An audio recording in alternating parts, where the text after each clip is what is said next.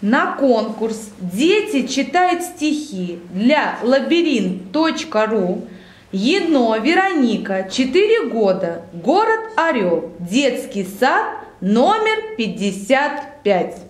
Что за праздник написал Наталья Ивановна.